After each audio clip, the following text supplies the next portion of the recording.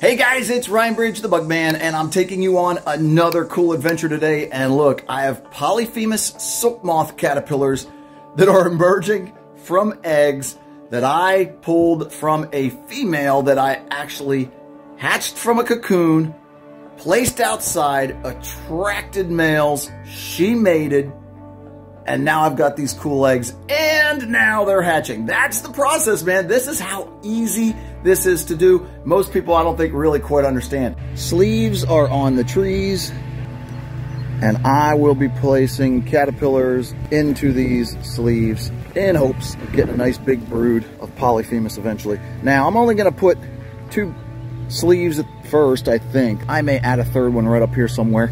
Uh, that's a pretty good branch right there. So I may do three sleeves at first and separate these out a little bit more. I want to wait and see how this looks when I get the caterpillars in. But I do need to separate them out. And then about every third day, I got to come out here and add more sleeves and grow more caterpillars. Okay, guys. Hey, it's uh, Ryan Bridge Bugman, and I'm following up from the caterpillars that I put on the trees two and a half weeks ago, and we're now back out. What I've done is I've actually switched out those bags. They are now larger bags, and I want to give you an idea how fast these things went in just two and a half-ish weeks. I got a bag up here. I went to these larger white bags. I don't like to do this usually because the neighbors get to have to look at this stuff and it looks pretty terrible out here, but I know what's there and that's what counts to me. Check this out. Here's a small white bag that I laid in. That's got some brand new fresh caterpillars in there that have uh, gone into like second-ish, going into almost third instar. And then I've got this huge sleeve right here that's basically just folded over and then I close pin it off to secure it right there. And what's in here are some really nice big juicy caterpillars. I'm gonna pop this a little further. I opened this up just to see what it looked like and there I got caterpillars wandering all over the place. Check this out. Let me switch this around for you. Easier for you to see. These are the same caterpillars that I put in the trees a few weeks ago. And they're huge by comparison. Now they're gonna get a lot bigger, but I just wanna show you how fast these things grow. Jeez, look at some of these guys are so beefy. This is cool. Look at those guys. Nice, big, healthy, beefy, fat caterpillars. And this whole bag, look at this, man. This bag has been cleaned off. And that's what I like to do. I don't like to starve them out. There was still a little bit of food left in here, so they didn't totally clean it out yet, but they were almost there. So now I'm gonna switch this out. I'm gonna pull these caterpillars into that container down there. Then I will move this sleeve over to another branch and I'll let them get even bigger. So that's phase two. Now you get it. These things are just gonna keep growing. They're just gonna keep getting big and fat, and that's what we want, man. Biggest, fattest, healthier caterpillars means a cool Bugman prop and a lot of really beautiful moths. So stay with me, man, because this is going to get fun. Hey guys, it's Ryan Bugman. Look, remember the Polyphemus project? Yeah, it's still in full swing and it's going very well. I did make some discoveries. It turns out that the birch tree is absolutely infested with ants. So I'm not getting hit by hornets and wasps, I'm getting hit by ants, which are kind of the same thing, just in this case maybe worse. Now, it doesn't look like they've killed a lot of my caterpillars. They probably did early on when they were smaller, but those caterpillars are now big enough that they're able to withstand most of the ant attack I think that's going on. I'm not seeing too much mortality going on here. I'm gonna bring you out and I wanna show you a couple things because remember I told you that it was gonna be about another two weeks for these guys to hit fifth instar. That's the new sleeve I put up about a week ago. And I can see some big burly caterpillars in there. I got some big guys in there. I also see one right next to a big burly caterpillar. That right there looks like one that got stung by a bee or a hornet. And it also may have got fed on by a wheel bug. But either way, that's a nice big fifth instar caterpillar right there. He's probably setting up and priming up to make a cocoon very shortly.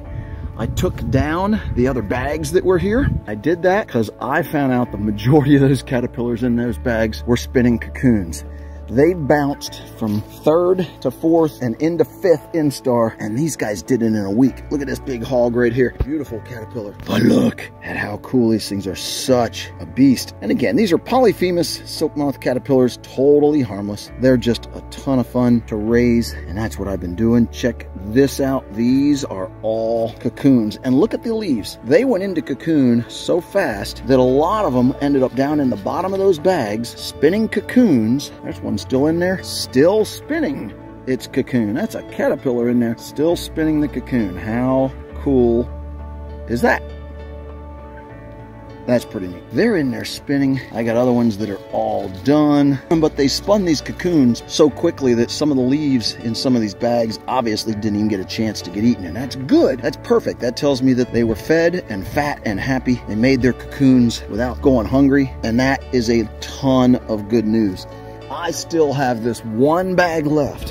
One bag of polys left there's probably 10 or so caterpillars, maybe 15 caterpillars in there because that's a pretty good sized bag. And that is going to be awesome. I'm very excited to see these guys getting big and fat. And guess what, man? Big, fat caterpillar poop is known as frass. That is also a good, these bugs are doing awesome. I'm still a little concerned when I see a dead one, but you know what, man? If I've got 15 or so in this bag and I only see one dead one laying in the bottom, I see a couple other things here. It looks like some blew their gut, which is great. Oh, there's a cocoon right there is a cocoon in the bag. That's super cool. So there's cocoons even in that tree. So they're doing the same thing the other ones did. I will probably let this go for another two or three days. Give this big fifth instar that's still in there, anybody, anybody else that's still in there, I'm gonna give them a chance to go through and make their cocoons, and then we're gonna be all done with the Polyphemus silk moth project. So it's 95 out here, super, super hot. I'm gonna give you guys back your day. Take it easy, man. Still working Polyphemus at Bugman headquarters. See ya. We're back here at Bugman headquarters, and I took three or four of the nice big fourth and fifth instar Polyphemus, one of which I found feeding on the oak tree directly underneath that birch. I actually found him. He was free roaming, but I got two or three other nice big fat Polyphemus caterpillars. These are all at least, that one's a late fourth, this one's a nice solid fifth. Look at this guy. Huge, nice and big and I got them hanging inside. And I like to do this every now and then. I'll do this with some of my caterpillars just so I can watch them go through that last stage because so much happens in the bag and we miss it. And I kind of miss having caterpillars in the house with me where I can watch these things do their thing. So cool. And it'll only take these guys about two or three days. Two or three days, and probably every one of these caterpillars will be forming a cocoon. And I run the fan because that simulates wind blowing outside. They'll get some natural sunlight and they will be ecstatic. And if I have happy caterpillars, that means the bug man is very happy as well. Just one more thing going on here at headquarters, guys. Part of the Polyphemus rearing project. Okay, guys, real quick, just showing you a Polyphemus silk moth male. I have a female out in a cage tonight and she's starting to attract the boys. The females emit a pheromone and that pheromone is like a perfume and that perfume brings them in, sometimes from several miles away. So we're gonna move this male back out to that cage right out there where the female is and hopefully he'll hang around and on his way to be with her. I'm gonna put him in the cage with her. So let's take him out there right now. And we're gonna go out here. The female moth is right there. And goofy as that looks, never did get her wings pulled out, but there is. There's also Cecropia in the cage as well. So I'm hoping the Cecropias are flying as well tonight. So let me get through let me get this guy in the cage with this female Polyphemus and we'll see if they uh, they hook up. All right, so there's the cages right there. The female Cecropia is hanging right there. Female Promethea is in that cage right there. The male Polyphemus hiding right there under that corner, but he's there. Yes, oop, there's the male, he's getting active. So what we'll do is give him a minute and we'll see if he finds this female He finds the female, I can hope that he's going to go over there and hook up with her other side of that cage. That's a that's a Promethea that's right there. The female Polyphemus is up in that corner of the cage. You can barely see her. It's actually quite cold out there. So I was really happy to see this male Polyphemus show up. Can't believe they're flying with this cold. It's about 42 out there right now. It's pretty chilly for being mid-May. All right, man, look at this beauty. It's a girl. It's a female Polyphemus silk moth. Just came out of the cocoon.